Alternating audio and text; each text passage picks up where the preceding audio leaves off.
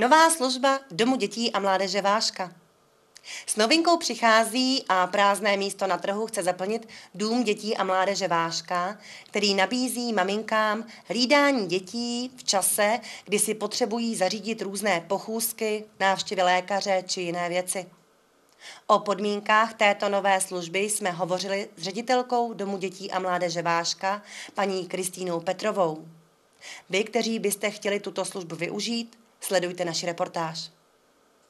Dům dětí a mládeže Váška připravilo zvláštní program, takzvanou službu hlídání dětí. Paní ředitelko, mohla byste říci vaši koncepci této nové služby, kterou poskytujete? Já bych tomu neříkala úplně koncepce, je to prostě služba, kterou nabízíme maminkám, ať už na mateřských dovolených nebo e, ostatních, třeba i starších dětí. A mělo by to pro ně znamenat, že během té doby, kdy nám dají své dítě na hlídání, tak si můžou vyřídit to, co potřebují a kde třeba by jim dítě trošku překáželo, nebo kde e, by to třeba s ním nemohli zvládnout nijak. No a to hlídání tady bude probíhat tak, že nejen, že budou děti se hlídat, ale budou si tady hrát s námi, eh, bude pro ně připravená nějaká i výtvarná činnost. Prostě to, na co máme tady kapacity a možnosti, tak určitě rádi poskytneme i těm dětem, které hlídat budeme. Od jakého věku děti budete přijímat? O tom jsme hodně přemýšleli a říkali jsme si nakonec, že to asi neomezíme nijak, že záleží na každé mamince. Myslím si, že když nám sem dá miminko, že se o něj postaráme stejně jako o pětileté dítě. Ta služba určitě není počítána tak, že by se maminka ráno to dítě dala a večer si ho vyzvedla.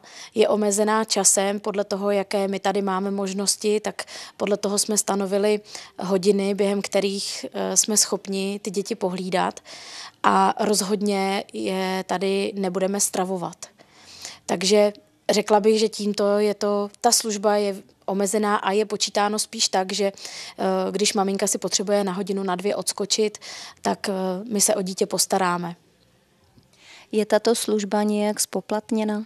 Ano, dohodli jsme se na částce 60 korun za hodinu, což si myslíme, že je únosné i pro maminku na mateřské dovolené.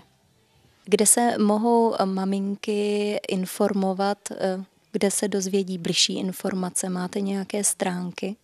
Na našich webových stránkách eh, o tom budou informace www.dodomováška.cz eh, a určitě, když se tady někdo staví nebo když zavolá na náš telefon, tak eh, nikoho neodmítneme a všem rádi poskytneme informace.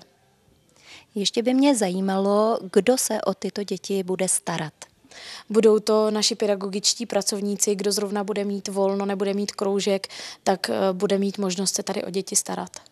Paní ředitelko, proč jste se rozhodli zřídit tady v DDM Váška eh, tuto službu?